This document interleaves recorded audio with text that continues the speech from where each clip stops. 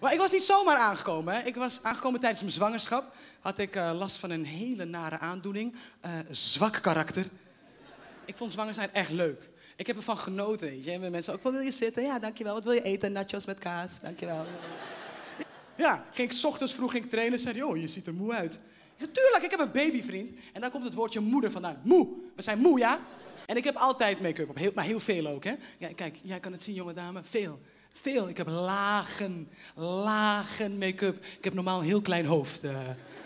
Als ik zonder make-up het podium opkom, denken jullie van, hè? Wie is die oude man met HIV? En waarom heeft hij dikke tieten? Het, het is ook heel duur, hè? Ik, ik schaam me een beetje, ik durf het bijna niet te zeggen. Maar dit kost gewoon duizend euro. Ja, het kost heel veel geld om er heel goedkoop uit te zien.